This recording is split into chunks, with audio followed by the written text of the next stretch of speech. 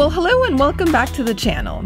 In this episode, the traveling trio became the traveling duo as my dad Daniel returned back to Canada.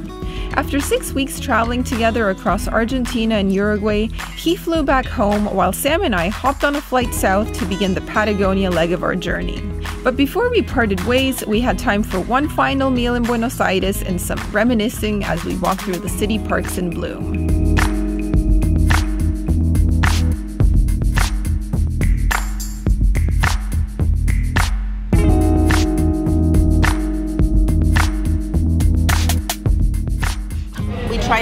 Restaurant every time we're in the city, Bodegón Norte. You know it by now. Oh, perfecto. Oh, I'm having a filet of fish, which is merluza. I think in English they call it uh, whiting or something like that, with uh, mashed potatoes and uh, to hydrate us. That's what we're having. Estiba 1, Malbec 2019, Bodegas Esmeralda. Okay, you? I'm having a chicken milanesa. It's called Suprema. yeah. Some fries. How is it? It's good. I mean, this is like party home cooked meals. And apparently the tiramisu is really good here, so we're gonna have to Might get try that for dessert, dessert. yeah. Yeah, Uh-huh. for sure. Well, people, we just uh, finished having lunch. We went to the Bodegón Norte to visit our friend uh, Rogelio, which is the owner. Super person, beautiful uh, human being. He always treats us like uh, royalty. We ate like what can I tell you? But in this place, it's amazing. Like I mean, the the portions are huge, and the prices are affordable all the way. I think I had that uh, merluza filet, which is a filet of breaded fish, and I think that one with the mashed potatoes came to about uh, 450 US, four dollars and fifty cents. Yeah. and everything is like that. Around five dollars per person you have a full course meal. And now we are sitting in one of these typical uh, squares of buenos aires. Here they call them plaza. In north america plaza is a different thing. It's like a shopping mall but here in latin america a plaza is a city square here where you have a park you know? And these are the typical plazas in buenos aires. Square city block and look at the trees. Look at the tiles where you the walkways everything is tiled beautiful. The buildings too every single building is a different shade of color. Beautiful day about 25 degrees. Day after tomorrow i'll be in toronto with minus 15 minus 17 snowy. Anyways tomorrow we're gonna be flying. These two are going to patagonia. I'm going to canada. And maybe next trip this trip we did uh, tucuman salta jujuy. The previous trip we did mendoza always cordoba and buenos aires of course. Maybe the next trip we'll do patagonia. I can go to patagonia. And i can do the atlantic coast where i lived so many years in the city of necochea i've never been back 50 years.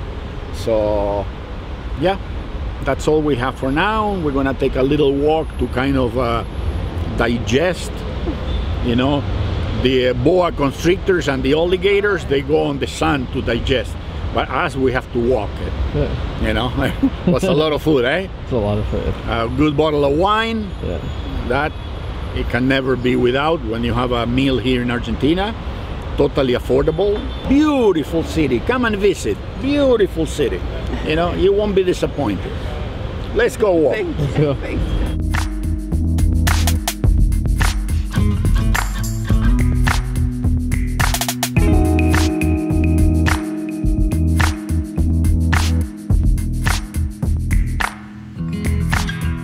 Well, here we are. Final moments of the trip. The last six weeks have come and gone. yeah the trip is over for me Yeah, you saw a lot of Argentina, a bit of Uruguay. Yeah, very nice trip. Very Yeah. nice uh, areas that we visited. You got to see Togo, your Yeah. son. Togo is uh, been six weeks without uh, his Pup. father, so it's a little bit uh, chubbier. I think I saw some pictures. It's a little bit uh, fatter because apparently with the cold weather he's hungry and he wants to eat three times a day.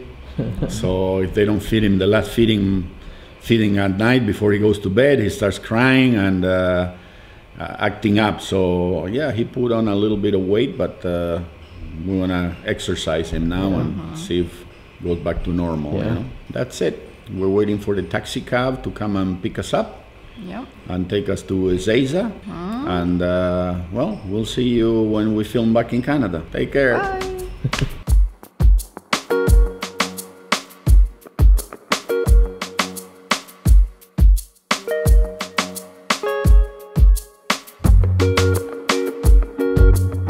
The drive to Ezeiza International Airport is about 40 minutes with no traffic, but we always like to give ourselves a little bit more time, just in case. Also, I know we've mentioned this in other videos, but this trip was pre pandemic, hence the crowded airport and lack of masks anywhere. This is also where we said bye to my dad since we were flying out of two different terminals, though we forgot to film it.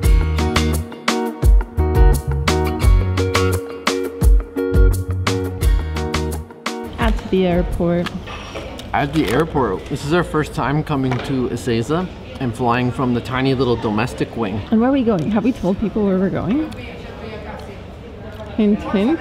Hint, hint, wink, wink. And we're going to probably one of the most famous places in Patagonia, Bariloche. Mm-hmm. But guys, last time we, I wouldn't say we got stuck in that area. We really wanted to explore the Lake District, and we are going back there for a little bit. But the main goal of the second phase of our trip, post your dad going home, mm-hmm. is we are going to head to the far south of Patagonia. To the ends of the the earth. ends of the earth. And we're gonna travel there slowly. And we couldn't be more excited. Patagonia like i'm all in on patagonia. Like, it's my favorite part of argentina hand like mm-hmm. hands down. I can't wait to go back. It reminds me a lot of british columbia the province i'm from and alberta alberta close to british columbia that little sliver that pretends that it's, kind of nearby british All columbia right, all right. Let's not be this.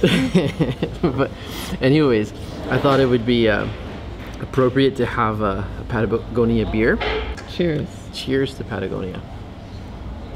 Oh, that's good. They make good beer. And yeah, we just got some chips.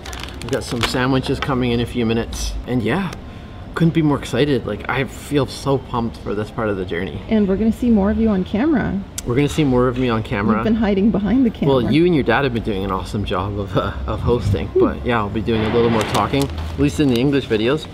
And um, what a great trip we had with your dad. Six weeks of a, a real adventure. I mean, it, it was great. Like, we saw some amazing places. Our health wasn't fantastic on this trip. We kind of were all dropping like flies at various points. But I mean, it's just part of the journey. And um, yeah, he's, he's flying home to some very cold weather in Canada. And we are, are we're gonna be we're heading into summer so it's the opposite season over here in argentina. So i kind of feel a bit bad for him. I think it's like minus 15 in snow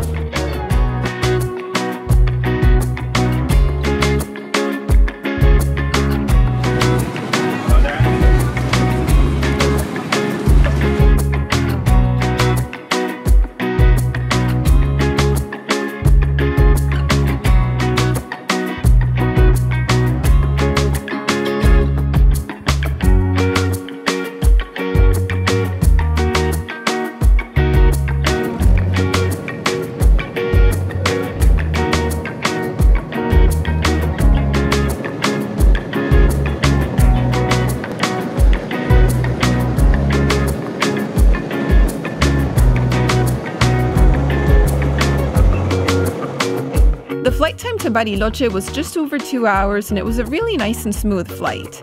Then, once we landed, we hopped in a taxi and got a ride to the most picturesque lakeside cottage that we found on Airbnb.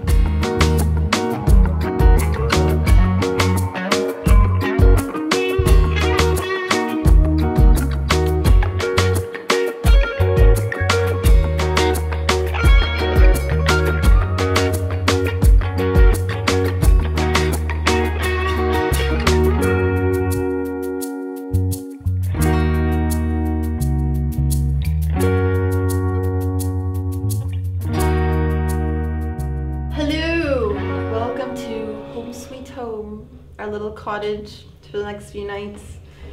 We just got here and it's a beautiful place. It's so cozy. You guys, we're next to a lake surrounded by forests and mountains. Yeah. We're outside the city. We purposely chose a place outside Bariloche because when we came here for the first time a few months ago, we just fell in love with this area. We're like around kilometer 18 right now, like around Circuito Chico, which is the big circuit you can drive just outside Bariloche where you get to see the mountains and the lakes. So yeah, it's a beautiful area. We got here a bit late, so the only restaurant nearby, um, it's kind of fancy and you have to make reservations. We called, but there was no space left for tonight. Maybe tomorrow. So that wasn't really an option. And then we didn't stop and do groceries tonight either, so we were without food. But our Airbnb host is so nice, so generous. She insisted she had to feed us. I'm like, no, no, no, we're okay. We can drink tea and coffee.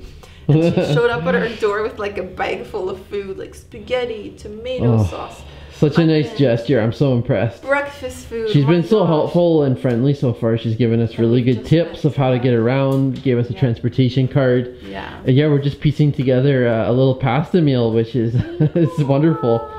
That'll be uh, that'll be dinner. We're having a workation here.